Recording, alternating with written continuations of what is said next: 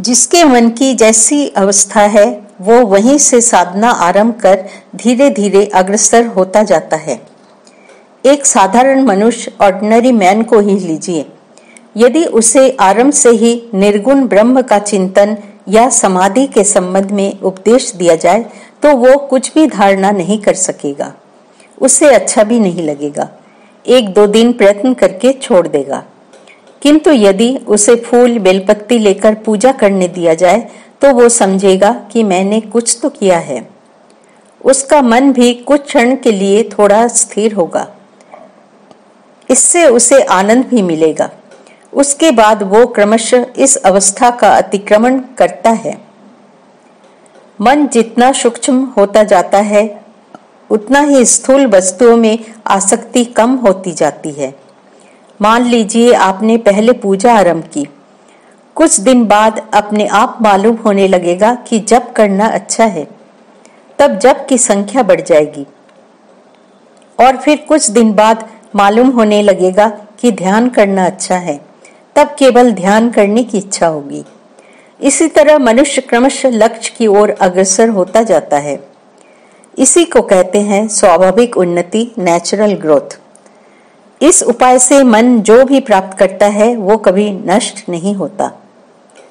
मान लीजिए आप इस आँगन में हैं और आपको इस छत पर जाना है। पहले ये जान लेना होगा कि सीढ़ी कहाँ है। तब कहीं आप सीढ़ी से चढ़कर ऊपर जा सकते हैं। ऐसा न कर यदि आपको कोई आँगन से उछाल दे तो आपको बहुत कष्ट होगा और उससे विपत्ति की भी बहुत संभावना है। यह जो बहिर्जगत में नियम कानून देख रहे हैं, ठीक उसी तरह अंतर जगत में भी व्यवस्था है। प्रश्न, कोई एक भाव मेरे लिए हानिकारक है? यह जानने के बाद भी यदि वो मन में बार बार उठे, तब क्या करना चाहिए? महाराज, सोचिएगा कि यह भाव मेरे लिए अत्यंत विघ्नकर है। मेरा परम शत्रु है। मेरा सर्वनाश कर सकता है। यह विचार आप बारंबार अपने मन पर अंकित इम्प्रेस कर लीजिए। देखिए, अपने आप ही ये भाव मन से चला जाएगा। मान लीजिए ये जो लड़का आपके सामने बैठा है, उसके संबंध में आप अपने मन में विचार उठा रहे हैं कि वो कुछ भी नहीं है, बिल्कुल तुच्छ है। तब देखेंगे कि उस लड़के के संबंध में आपके मन में कोई संस्कार इम्प्रेशन नहीं होगा। उसकी तरफ़ मन फिर बिल्कुल नहीं जाएगा। एक और दृष्टांत लीजिए, एक बच्चे का। वो नहीं जानता कि विष खाने से क्या होता है।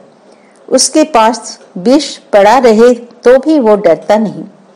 किंतु आप थोड़ा सा विष देख ले तो सिहर कर, बाप रे, कहते हुए दस कदम पीछे हट जाएँगे।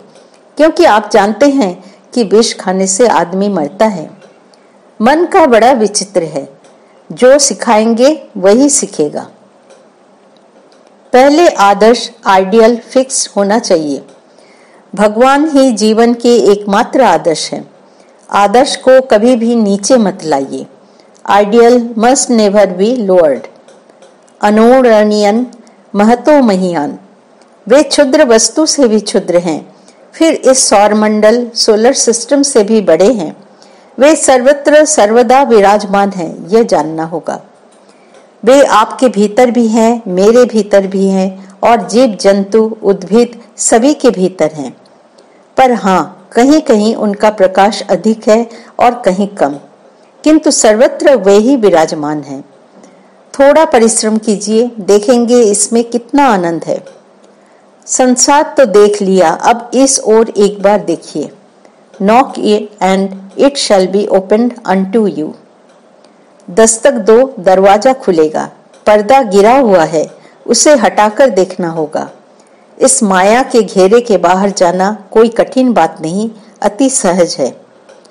जरा लग तो जाइए, देखेंगे कि दुनिया अन्य एक प्रकार की हो गई है। प्रश्न, शास्त्र इत्यादि में जो बातें हैं, उन सब पर क्या विश्वास किया जा सकता है? महाराज हाँ वे सब सत्य हैं। लोगों के कल्याण के लिए युग युग से ये सब व्यवस्थाएँ की गई हैं। वो सब मानना चाहिए।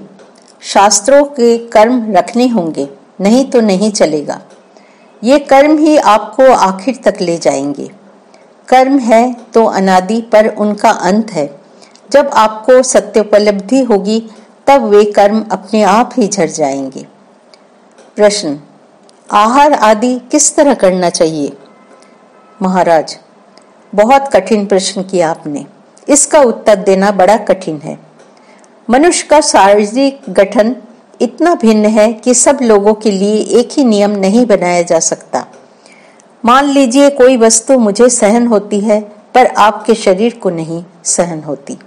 मेरा शरीर सिस्टम किसी वस्तु को ग्रहण एसिमिलेट कर सकता है। आपका शरीर शायद उसे ग्रहण न कर सके। इसीलिए हम लोगों के गीता आदि शास्त्रों में आहार के संबंध में विशेष रूप से कुछ कहा नहीं गया है। गीता में आहार संबंधी जो उल्लेख है, वो केवल एक साधारण विभाग जनरल क्लासिफिकेशन है। साधारण तौर से यही कहा जा सकता है कि भोजन भारी न हो। यह सावधानी बनाए रखकर जिसके पेट में जो सहता है वैसा भोजन किया जा सकता है। उपदेश, नाम महत्व। नाम नाम नाम, केवल नाम जपो, खूब कर्म करो और नाम जपो।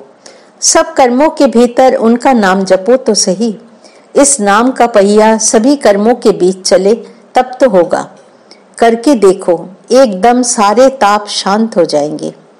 कितने ही महापातकी इस नाम का आश्रय ले शुद्ध मुक्त आत्मा हो गए। खूब विश्वास करो नाम और भगवान पर। नाम और नामी एक कर डालो। भगवान ही के नाम के रूप में, भक्त के हृदय में निवास करते हैं। भगवान को खूब पुकारते रहो। निर्जन में अकेले बैठकर उन्हें पुकारना चाहिए। और बीच बीच में प्रार्थना करो, मुझ पर कृपा करो, मुझे श्रद्धा भक्ति दो। इतनी आंतरिकता से पुकारो कि आंसुओं की धार बहने लगे। मन और मुख एक करना होगा।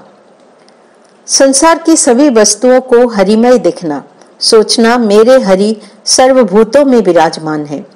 ऐसा करते करते ही त्रिनादपि सुनीच हो जाओगे। सबके पास बैठना पर सुनना केवल हरि कथा यह जानना कि जिस स्थान में हरि गुणानुकीर्तन नहीं होता वो स्थान शशमान के समान है। इस हरिनाम के प्रताप से शशमान के भूत तक भाग जाते हैं। उनका नाम जपो, उन्हें पुकारो।